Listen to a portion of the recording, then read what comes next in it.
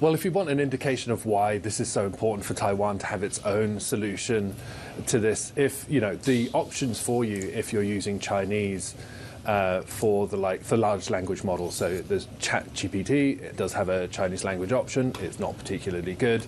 Uh, the most used one in in Chinese is Baidu's Ernie bot. Um, but if you type in, for example, uh, into Ernie, um, or you ask Ernie who won the recent uh, election in Taiwan, it will give you the correct answer. It will say Lai Ching-te.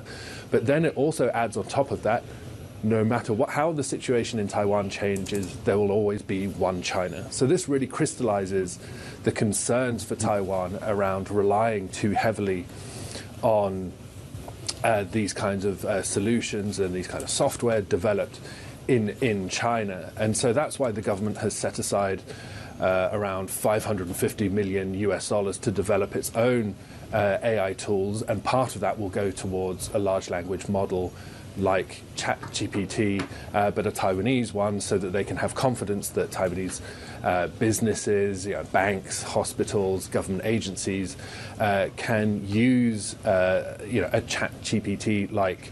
Uh, functionality without uh, concerns over political influence. And of course, if you're sitting in, in Taiwan, it's a huge concern.